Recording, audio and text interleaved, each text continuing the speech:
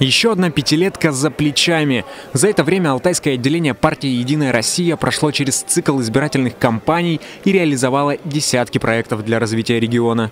Мы сегодня будем, скорее всего, концентрировать свое внимание не столь на подведении этих самых итогов и даче оценки э, нашей работы, а скорее всего будем выстраивать уже новые шаги, новый фундамент для решения тех задач, которые встают перед партией как политической силой на ближайшее время и на среднесрочную перспективу.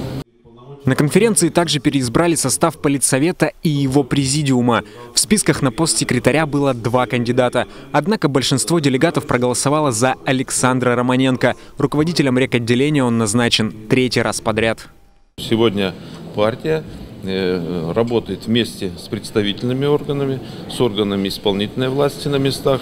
И как это единая команда берет на себя, с одной стороны, взятие больших объемов решений и ответственности за их исполнение.